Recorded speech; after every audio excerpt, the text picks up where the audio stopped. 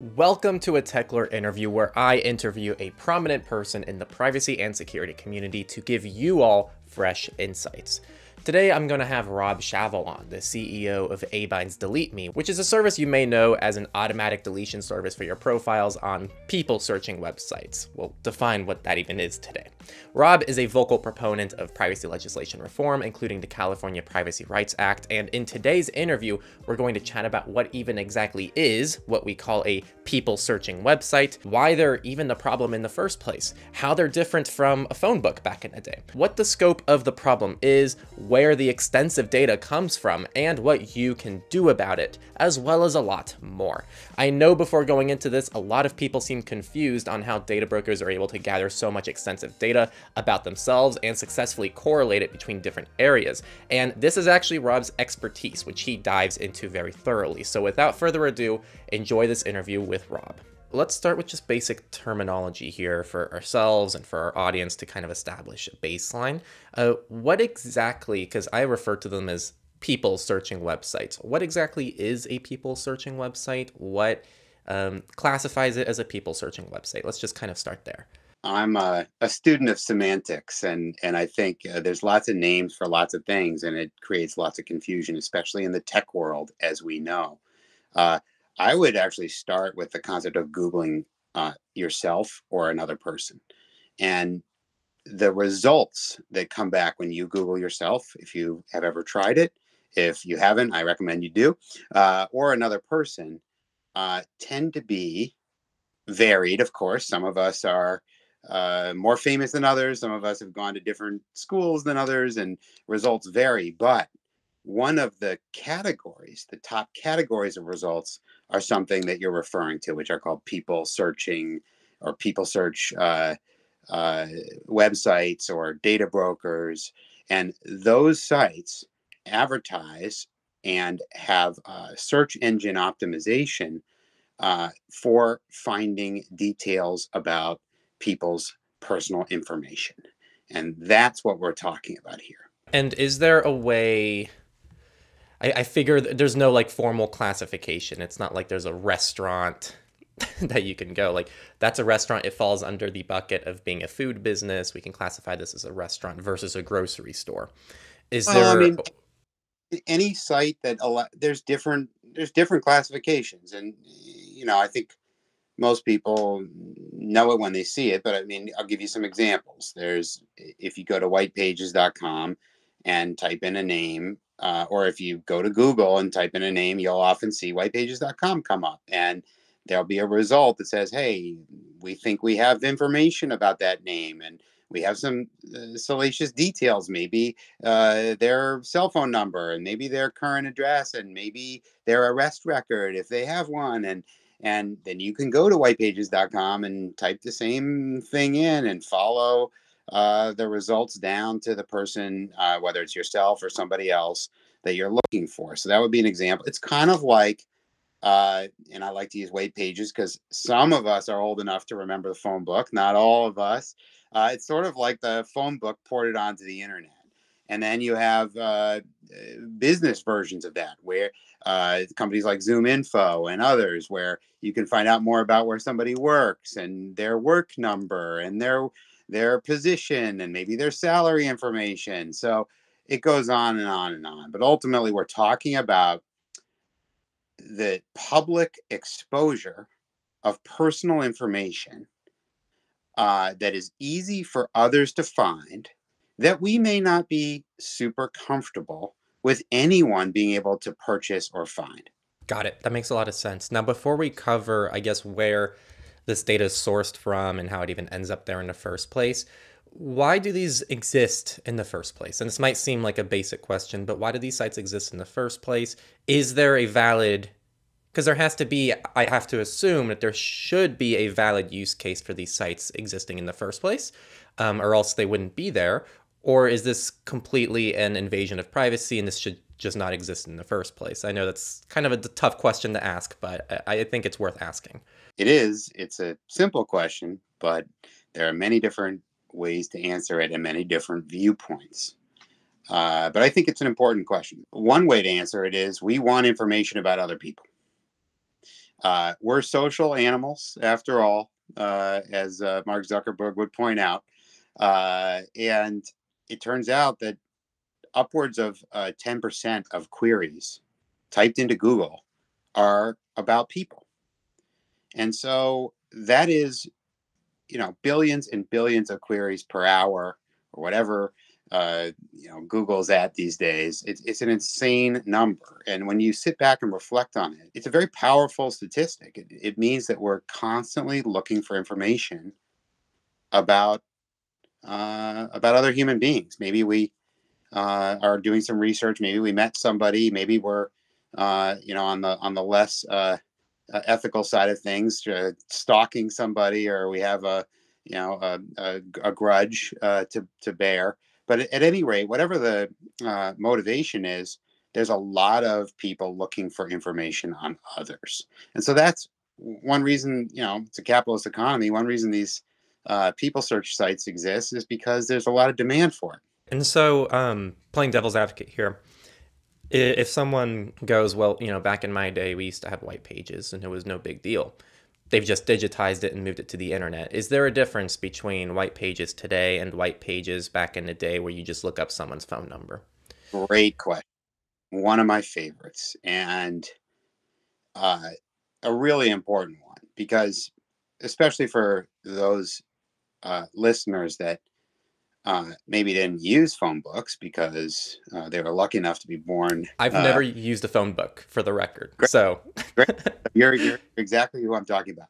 The way that the phone book worked is where you, you know, where, wherever you lived, uh, the phone company would drop off a big book every year with uh, everybody's numbers that wanted to be listed, and that was most people because you couldn't get calls if uh, you know there was value to you. You couldn't get phone calls to your home if you weren't listed, and and and so on. So almost everybody was in the phone book, and you could look them up by by name.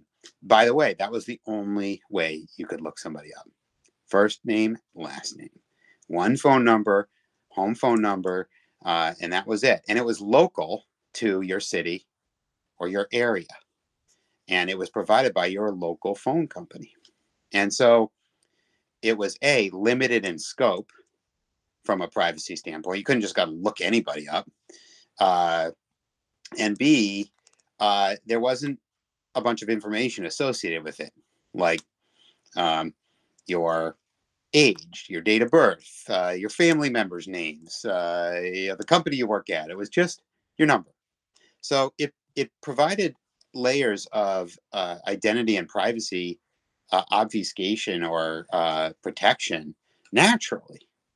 Uh, and the internet removed all those. And not only did it remove all of those, it started to suck up all of this other correlated information that we never assumed uh, would get aggregated. We never explicitly said, "Hey, I I want this. It's valuable. Please create a profile of me uh, people search site that I've never done business with, please make it as detailed as possible and add lots of things like my cell phone number and my family's, uh, you know, and relatives' uh, names and, and ages, because that would make me feel really comfortable that anybody could buy that.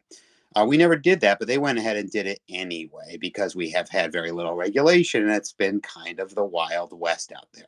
When you were talking about the phone book, I was thinking to myself, what if they um, remade the first Terminator, but Terminator had access to digital white pages instead of having to go through the three people in the phone book to find uh, Sarah.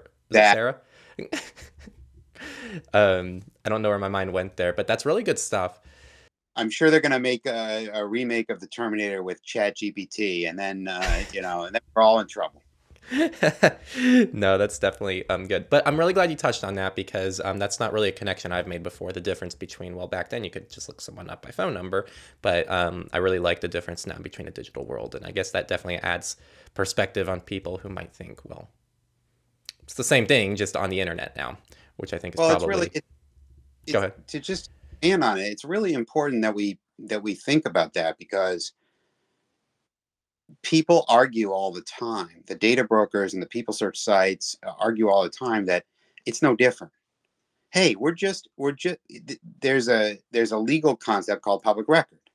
and that legal concept originates hundreds of years ago, actually in the in in Britain, uh, based on taxation and other things that you needed to provide certain information to the government. The gov- it, and it was it was and should be legally accessible to everyone. You need to have a home. You need to pay your taxes. It it has its roots there, right? You know, way not only bef- was this legal uh, precedent for public records set up, you know, many you know many years ago, it was set up before not just the internet, uh, but it was set up before even potentially I have to check my dates, but potentially even before electricity was invented. So this is a very old notion and when we take a very old set of laws and concepts and we um, fire them into the internet age at, at, at super uh, high fiber optic speeds, uh, it isn't all the same.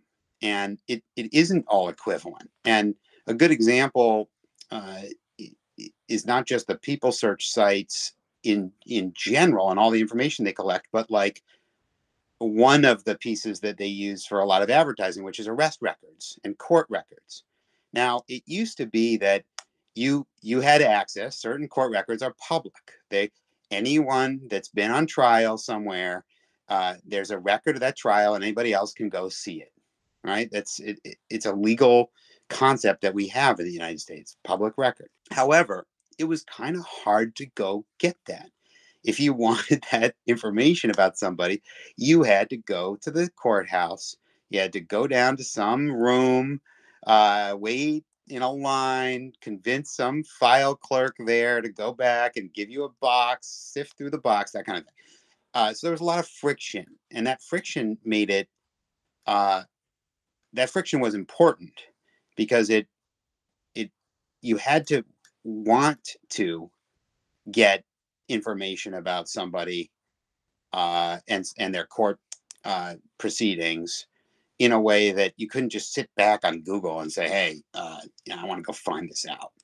And the core of of I think an important argument that needs to be had with regulators and and this industry of people search sites and data brokers and privacy companies like uh, the one I am involved in is figuring out what is fair when it's ported to the internet and what's not.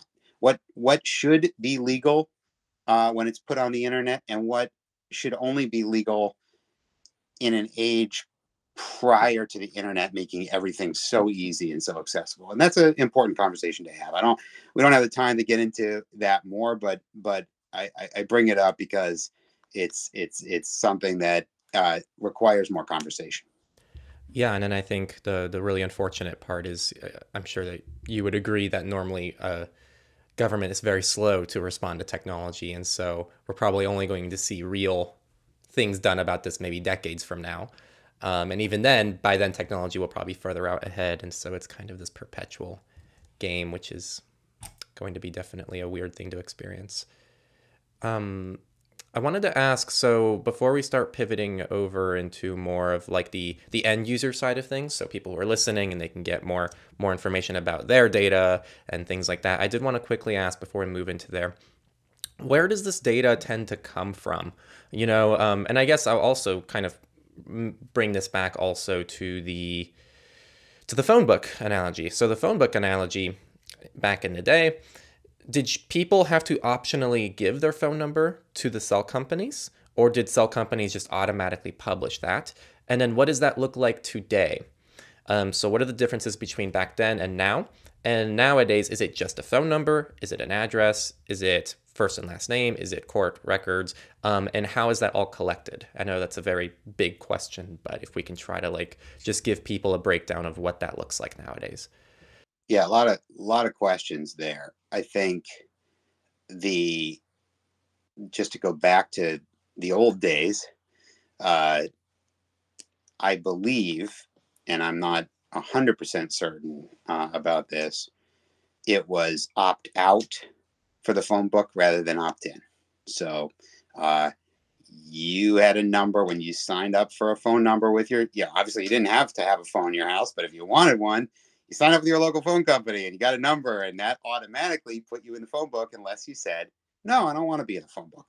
In which case, you were uh, considered to be quite a privacy advocate because you literally are unreachable. Why would you even sign up for a, a phone in your house at that point anyway? A very different era, okay? Uh, and and I'm dating myself, but that's how it worked. Now, the question you're asking, uh, the, the second part of the question you're asking is, how does it work today? How do these people search companies assemble these dossiers and profiles about us and our families and our personal and private information? Where does it come from? And uh, nobody has a perfectly clear answer to that because the people search companies don't want you to know. Uh, is is is one one reason. The other reason is it comes from a a wide variety of places. I'll give you some examples. Uh, it comes from scraping uh, Facebook profiles uh, and and social media profiles and Twitter and LinkedIn. So there's some amount of it that just comes from information that we're putting out there uh, in in the public in the public eye that they can correlate back to an identity that record that they have. Uh, some of it also comes from government uh, databases. Uh, in in some states, the DMV was selling for for for heaven's sake, was selling uh, the data when we got a license to some of the data brokers. It comes from credit bureaus, our good friends at Equifax, Experian, and TransUnion, uh, who we all love and who have never lost anybody's information in a data breach. Last time I checked, I'm being facetious on purpose. It also comes from more nefarious places that we might not realize. For example, we're excited to download a new app on our phone. We click through all of the terms of service and say yes to the privacy policy, which, if we had read it carefully, like nobody does, says your information may be shared with third parties, our trusted third parties, some crap like that. And one of their trusted third parties turns out to be the people search data brokers who are buying it from them. So it comes from all those places. What's more important in my mind and what's what we've seen as a trend over the last five years is that not that this information has been out there and that we're creating it and we're perpetuating the problem which we are uh, but that's not the most interesting insight. The most interesting thing is the data brokers and the people search sites technology platforms have gotten much much more sophisticated about correlating all of this data back to a correct identity. And that's when things have got get dangerous and and accelerate because the details that they're able to uh, scrape or buy get correlated correctly into uh, a an ever more uh, uh, detailed and particular and personal uh, file about us that they are selling online for as little as a dollar.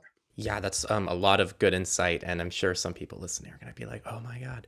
Um, so I was actually going to ask about the correlation because the first thing you talked about was the social media profiles, and um, my first question would be, well, what about someone's social media profile would be correlated to their sold profile? Is it the fact they use their first and last name? In that case, someone would just change their first and last name. Is it the fact they're using the same email? Is it the fact they're using the same phone number? I guess theoretically, if someone was using the same password and both passwords were breached across services, they could try to correlate like uh, breached passwords that are published online. So I guess there's a ton of correlations there. Are there any particular ones? Don't that... don't give don't give their CTOs too many ideas. uh, I, I I think it's a lot of a, a lot of different tactics, like ones that you just mentioned, as well as many others.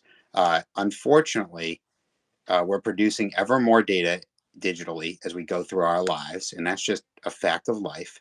And a lot of that is tied to unique identifiers uh, from our phones to our IP address, uh, from our computers, that are fingerprinted with different things. So it's not as simple as just uh, you know email uh, and, and, and other things. But uh, look, it's they're getting better at it.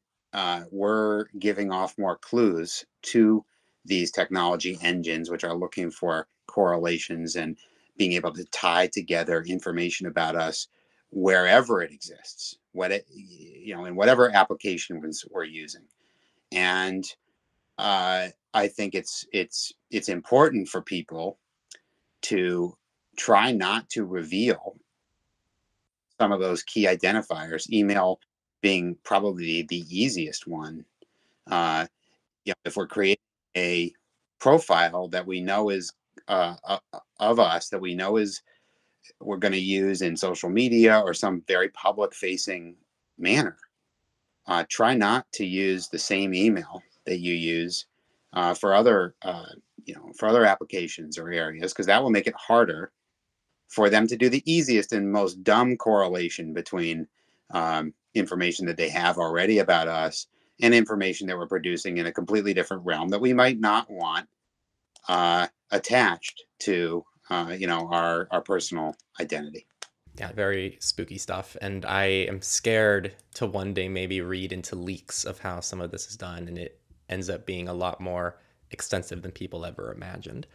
Um, or maybe it is just emails but from the sounds of what you're communicating it sounds like it's a lot more in depth than that. Well I, i'm generally not uh, a fear monger, but I do think it's more extensive uh, than than simple emails. And I think AI uh, to to bring up, you know, the most popular buzzword of uh, uh, 2023 so far is making that ever more uh, easy because the pattern matching that these large language model AI engines are able to do may soon uh, dwarf any of these kind of techniques that we've been talking about in terms of being able to figure out what we're doing, uh, what what really has been created by us and our identity that's out there on the web versus somebody else. So if someone is listening to this and they are curious, they're like, "Oh wow, am I on one of these websites?" Um, how do you suggest people look into their profiles to see what's out there? And I also wanted to ask on this note because we have a global audience: Is this a global problem, and is it equally applicable to all people in all countries? I'll take the first part of the question first. Uh, Google yourself, look at the results, and follow those to a couple of these people search sites and data brokers that are advertising profiles about you. You will find them almost all. Uh, if you're listening to this, almost all of you will find those. Uh, and unfortunately, they're they're usually among the top results for most of us. And and so that's the way you can go see the kind of information they have on you. And if you're really curious, you can sign up for a cheap subscription and see all the details that they have. And I think most of our uh, most regular, uh, everyday uh, people just not thinking about this issue will be relatively shocked at the level of detail that is out there about us. Sometimes there's a mistake uh, or two, uh, but oftentimes uh, there's things that you'd never assume because you've never given this information out to these people. You'd never assume that they have, and, then it can include you know the the, the VIN number and make of our cars. Pets' names, uh, like I've mentioned already, family members and relatives and their ages and dates of birth. I mean, just things that we would, most of us would consider to be highly personal. And that, you know, it's not fair that, you know, companies that didn't ask us our permission are a getting in the first place and b selling uh, without our consent you know to others i mean it seems kind of unfair and crazy but yet here we are uh, the second answer the second part of your question is how relevant is this internationally? I live in canada i live in france i live in uh, australia i live in singapore. Uh, and the answer is less it's less prevalent than in america. In other words, we have the worst problem with people search sites and data brokers, but it is broadly happening everywhere. And that's why we uh, have uh, an international division. And we have now have produced privacy reports and have customers in 25 different countries. So we see very broadly across the world uh, that that people search and data broker uh, activity is is unfortunately alive and well. Very cool, and I'd love to ask about that when we talk more about your service down the line. Um, before we get there, though, when you were talking about the first thing, it reminds me. So we interviewed Abine Delete Me, which is your your deletion service that you provide for this, um, a couple years ago, and we had the idea when we were producing that video. We don't normally we should step out of our comfort zone more often, but we had the idea of actually going to some of our friends locally. And I don't, I'm sure you watched the video, but we pretty much were like, okay, just give me your first and last name. And we're going to like dig into you and like on camera tell you what we can find out just from your first and last name. And those reactions were all real. The people were like, like what like um and some of the things that we cut out that didn't end up making it into the final thing was um one of the people that we interviewed in that um in in that video we mentioned some family members and they're like oh that's like a you know that was like a person that was part of my life like the first five years of my life and they haven't been around ever since then. Like they are like out of my life. Like i don't want to think about them. I don't want to hear their name anymore.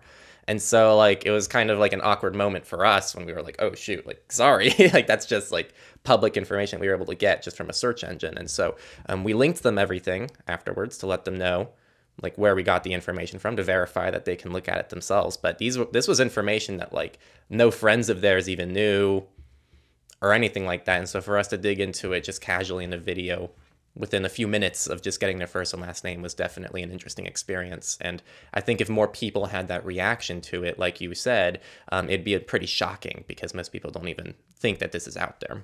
Yeah, and I think yeah, the the reaction that these particular uh, friends had is is a really interesting one because it, it goes to the heart of of I think what we consider privacy. It's like we reveal certain information to certain people when we're comfortable doing it.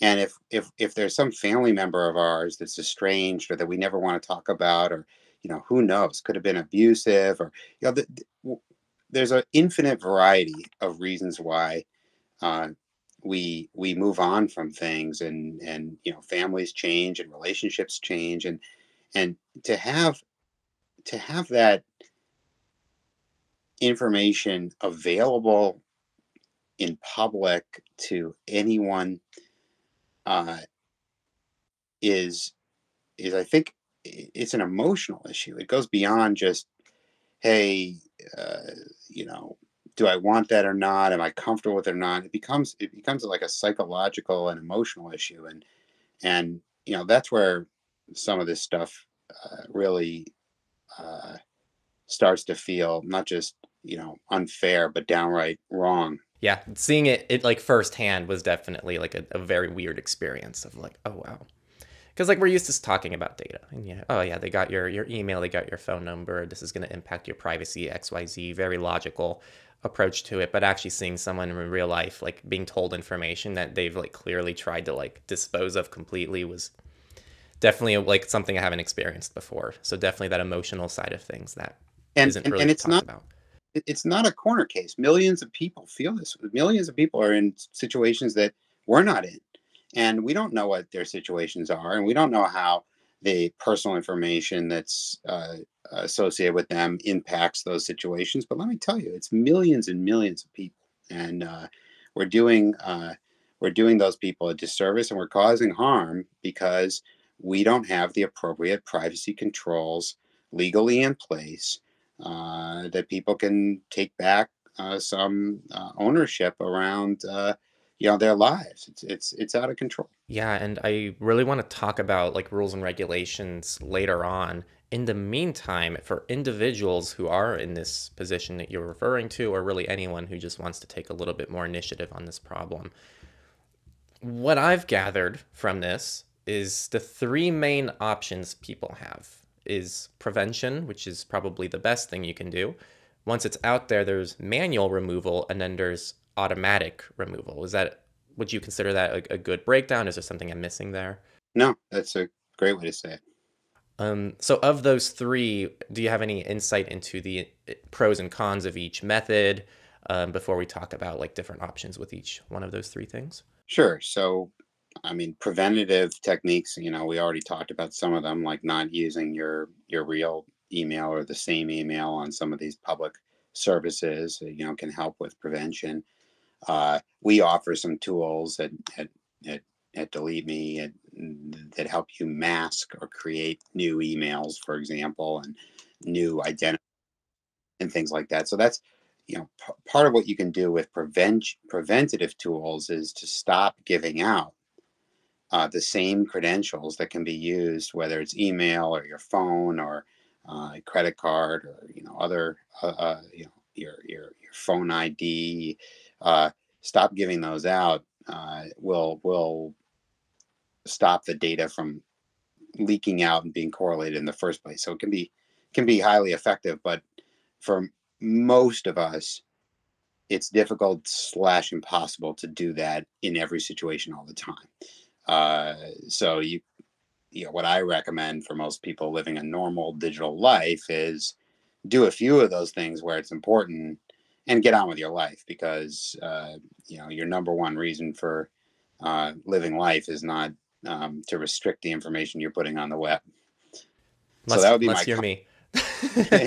well, I mean, and look, we love look, we love uh, people advocates for privacy and customers. Uh, many many of ours that are that are high impact uh, privacy uh, people that that want and believe that they can, uh, you know, they can take extreme uh, actions to protect themselves, and that's great. I just don't think it's it, you know it, it's possible for the everyday person that has to get up, grab coffee in the morning, get their kids to school, and go to work to apply that kind of level of energy and sophistication uh, to for around prevention.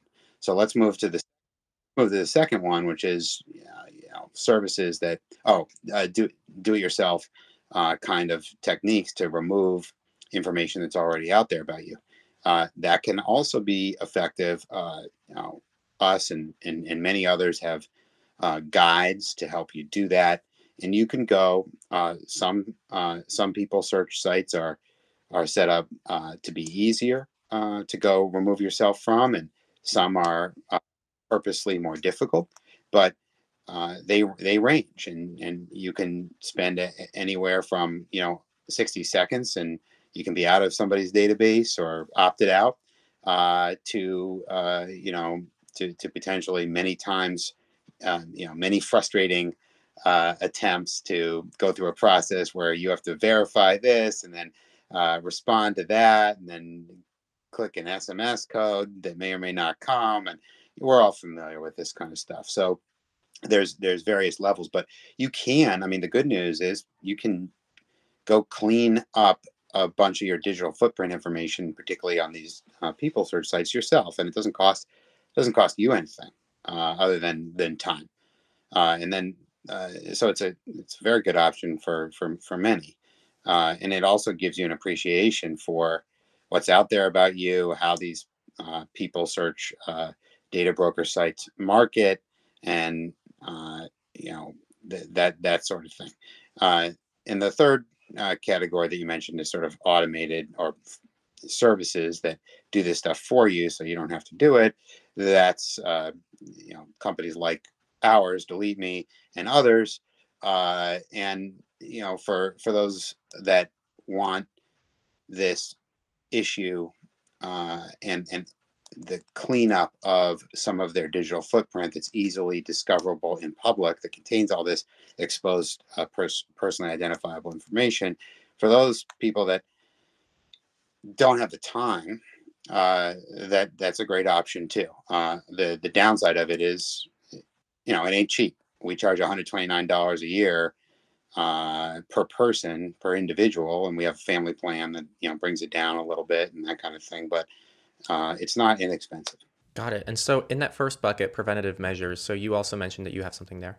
Yeah, we have uh, a set of tools that people can use, uh, which we call uh, masking tools, which which which was a term we coined before the pandemic, uh, which which was which are meant to give you the ability to not give out your real email, not give out your real phone number, not give out your real credit card to companies that you think might be sharing those details in their terms of service with data brokers, people search sites, and others. And by doing that, you don't have to be the same easily correlatable person everywhere you sign up for, everywhere you shop at.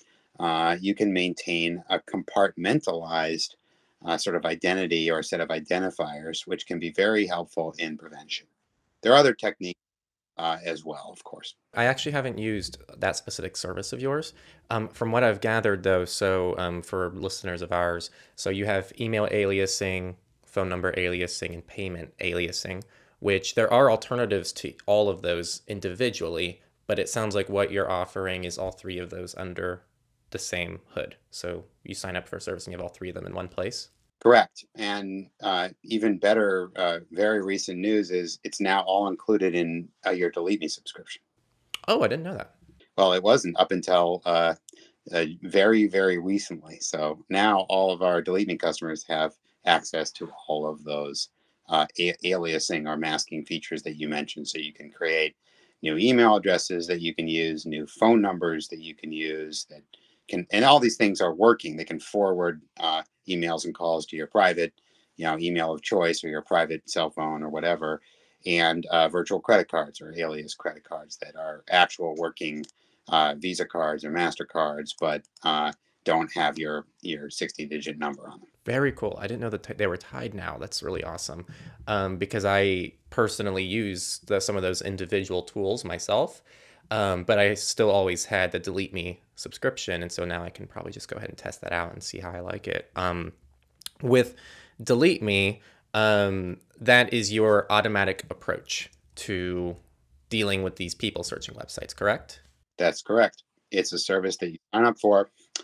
Then we go out and uh, our privacy advisors uh, and our uh, technology platform combined go out and search uh, on your behalf for all your personal information and uh, wherever we find it at these uh, people search sites we tell you and we don't just tell you that we found it we tell you exactly what we found where uh, and you get a report on that and we tell you that we've begun the process of opting you out of each of those and over time and that time can range from hours to uh, uh, many, many weeks, uh, they uh, start removing that information based on our requests and the various processes that we have to navigate to do that.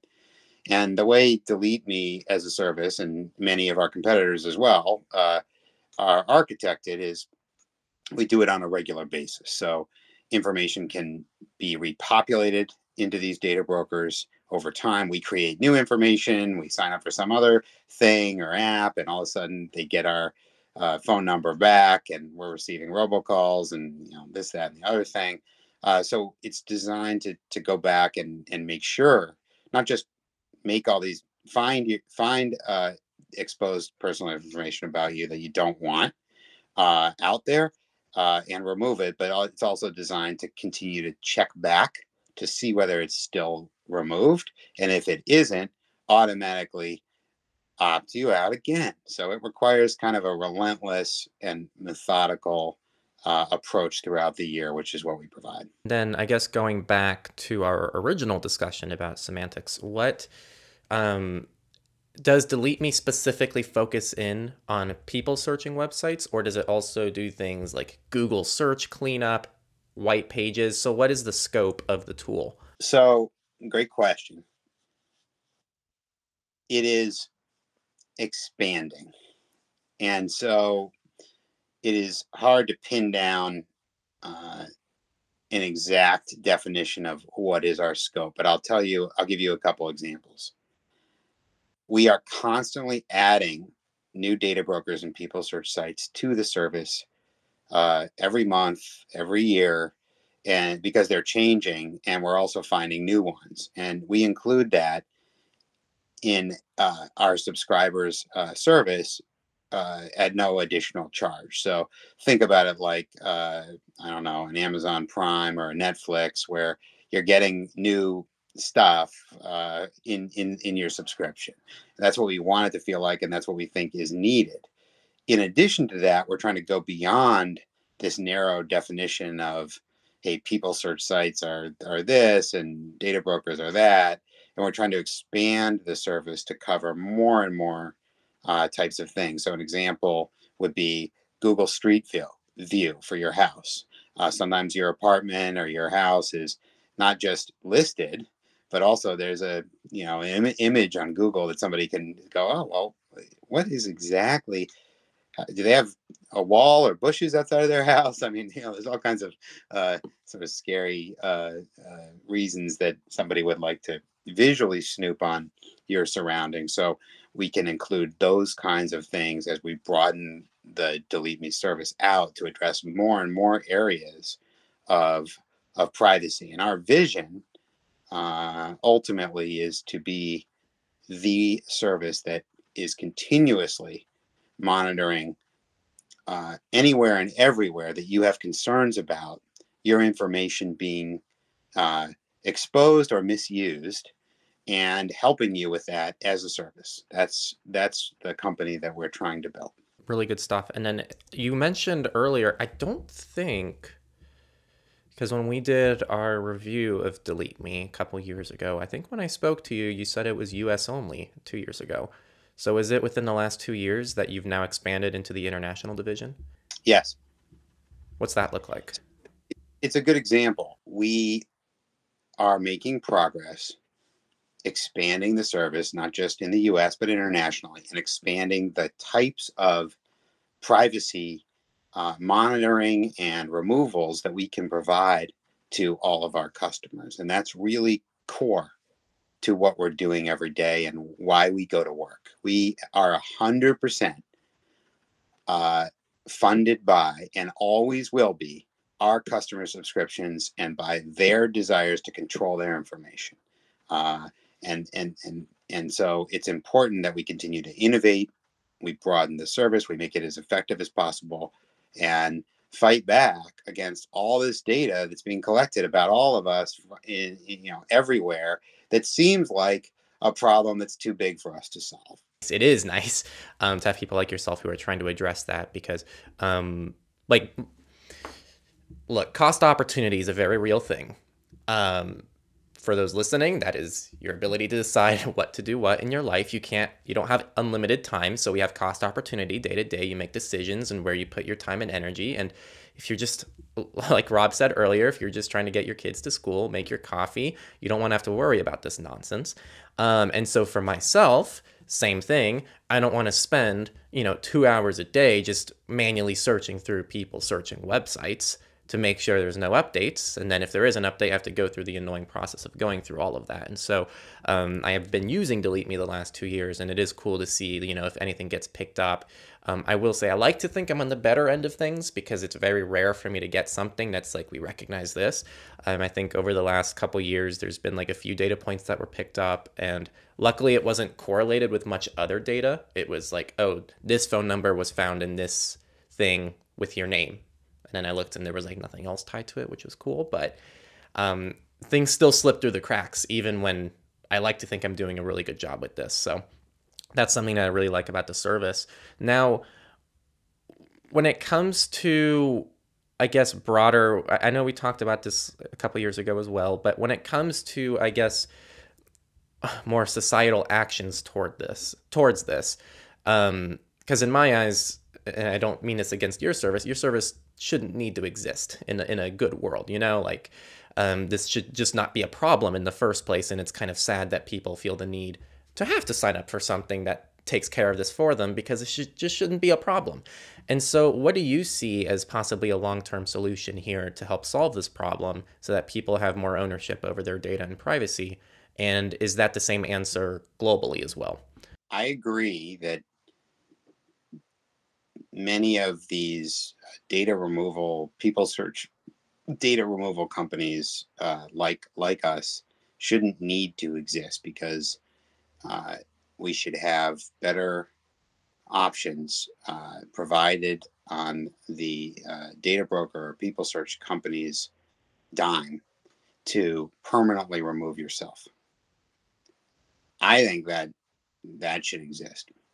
We need tougher laws around privacy regulation. We're getting more of them. There are more laws uh, passed uh, in more states in this country than uh, when we last talked two years ago.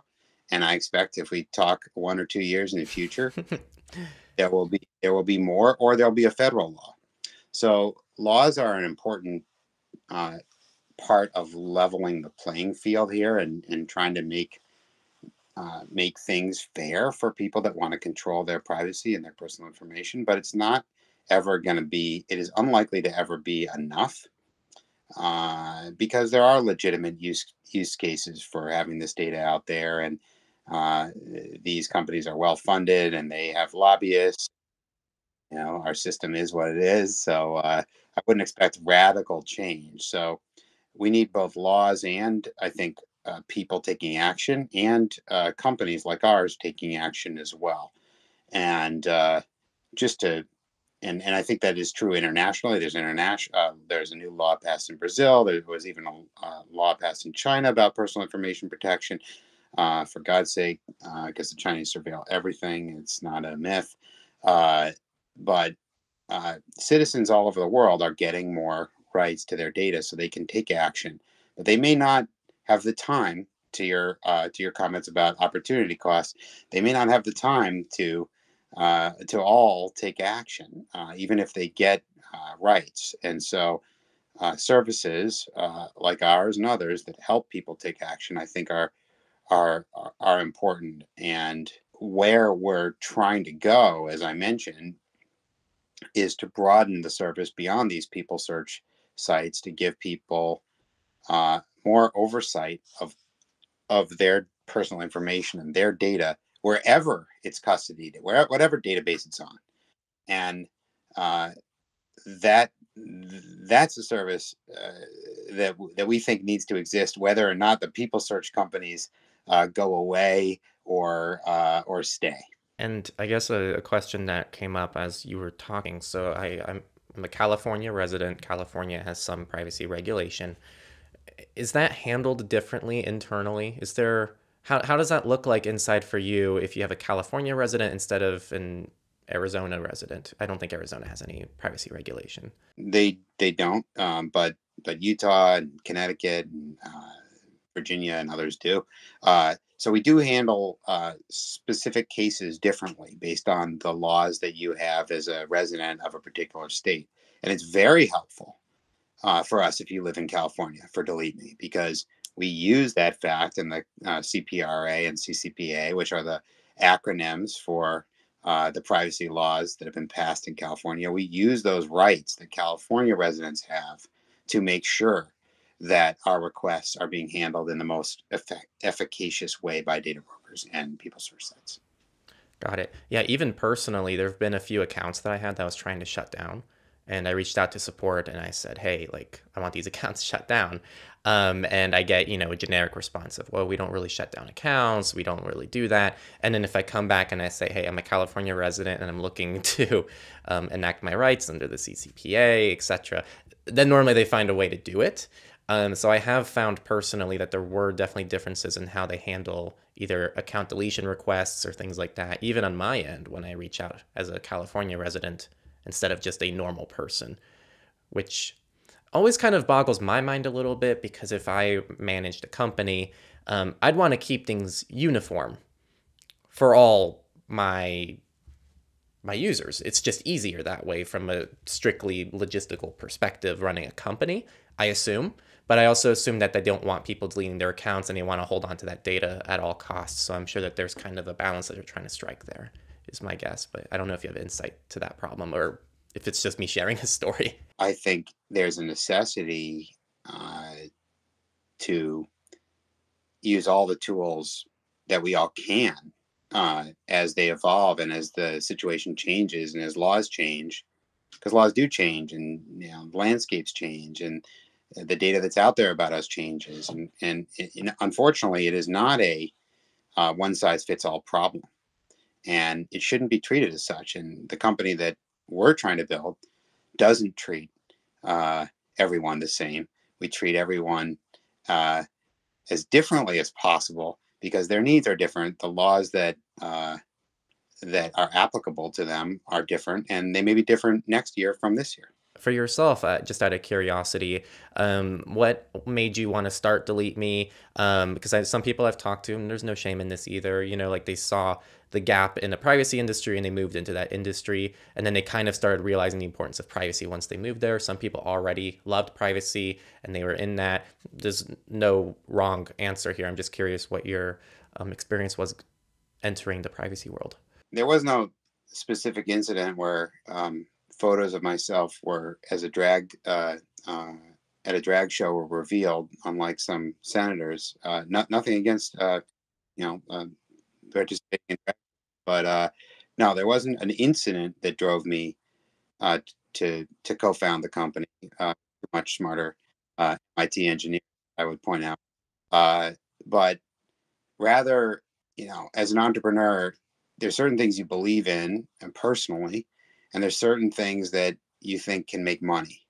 And it's rare that those two converge and when they do it's always a great opportunity because you know you'll have the passion to pursue it and you think it can be lucrative ultimately and uh, privacy was one of those things i i felt like you know entrepreneurs like freedom we're basically not hireable um, I don't like uh, to be a cog in the wheel of some big company.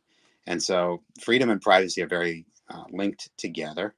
Uh, it's hard to have freedom if you don't have the right to privacy. And at the time, this is around 2010, everybody was excited about uh, social sharing and Facebook and everything else. And all that data was going into the cloud. And, uh, you know, the visionary uh, technical guys that I started the company with sort of saw the future uh, uh, of how all this data wouldn't be all positive and used for, you know, bringing us together, but it would be used in in in ways that uh, violated our privacy and and and were very negative, and uh, that that turned out to be the case. And you know, when you're starting a business, you want to try to solve the biggest problem that you can, and you want to believe that the problem will exist, uh, if not be bigger, uh, year after year for the next you know five or ten years that you have the opportunity to start the business. So that's a little bit of the thinking that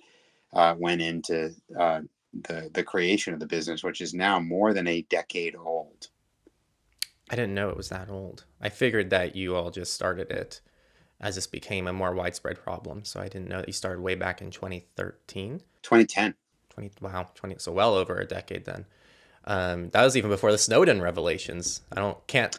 What? Spe- it was. I can't speak to many people who have privacy products that were around before the Snowden revelations because that was actually the big wake up call that I think really springed the current privacy world as we know it into action. So that's really cool stuff. Yeah, we're one of the original uh, the original gangsters of privacy.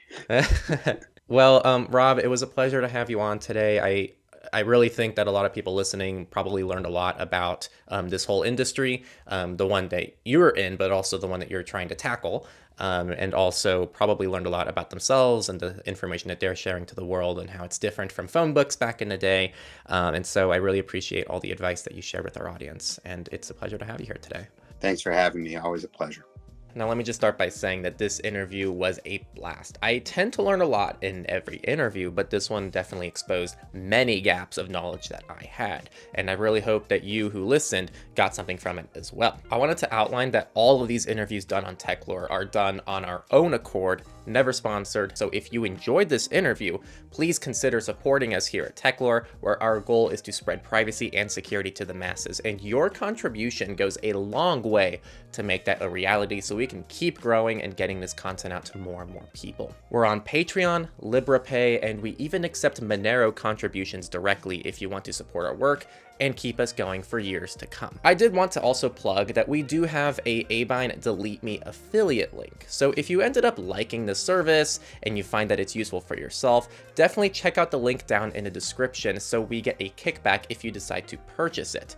And just for transparency's sake, there is a standard link as well, so you have the choice of which link to use. You have no obligation to support us if you don't want to and you don't want to use the affiliate link. It's just a way for you to support our work if you're going to go through Abine and get their service anyway. Thanks again for listening, everyone, and I'll see you next time on Techlore.